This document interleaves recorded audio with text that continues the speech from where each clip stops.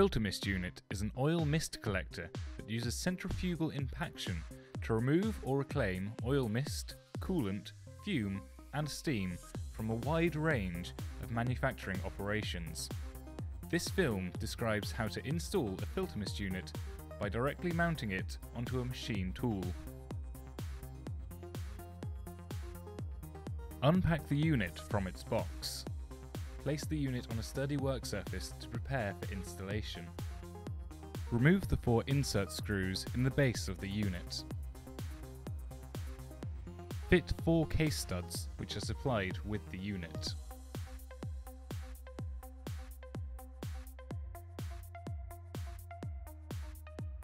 Fit after filter clips if an after filter is being used.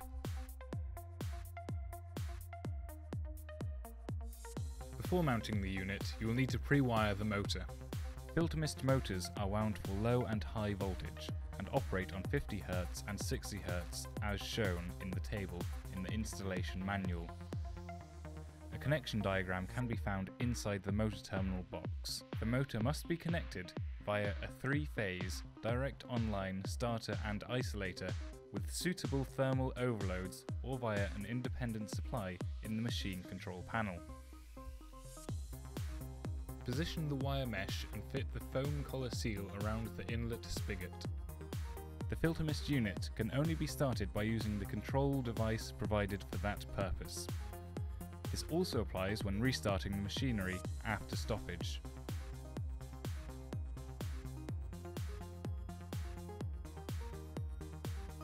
Make sure the machine tool is switched off.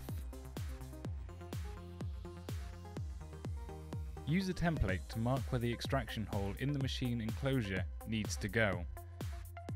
The diameter of the hole will vary depending on which model is being installed. Please refer to the installation manual for details. Drill 4 case stud fixing holes. Again, please refer to the table in the installation manual for hole size and case stud hole PCD. Cut a hole for the oil return tube, if required.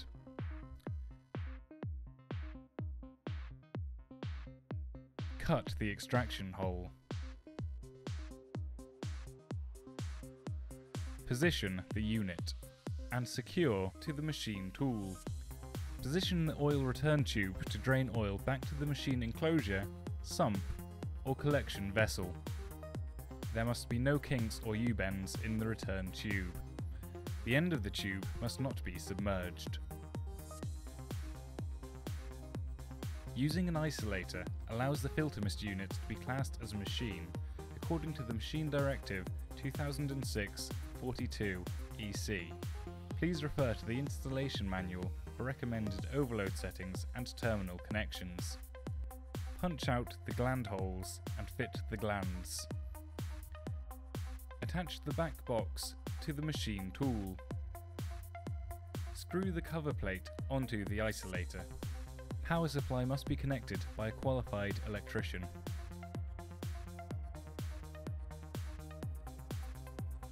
Place the after filter on top of the Filtermist unit. Apply even pressure when pulling down over the unit and attaching the safety clips. Insert safety pins into the after filter clips and then fix with the nut to secure.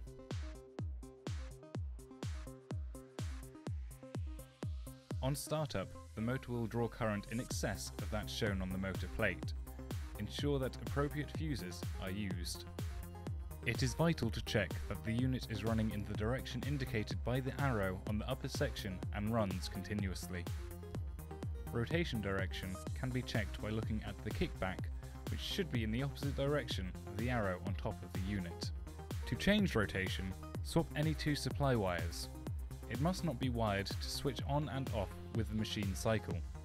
A face velocity reading is taken using a vane anemometer to measure the extraction rate in meters per second. The result is recorded on the job sheet and used as a benchmark when testing performance during routine servicing.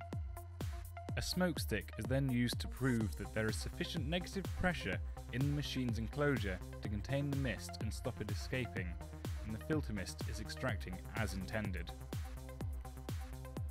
Filtermist engineers ensure the customer is completely satisfied with the installation and happy to sign the job off. A copy of the risk assessment and installation report is then emailed to the customer following the completion of the job.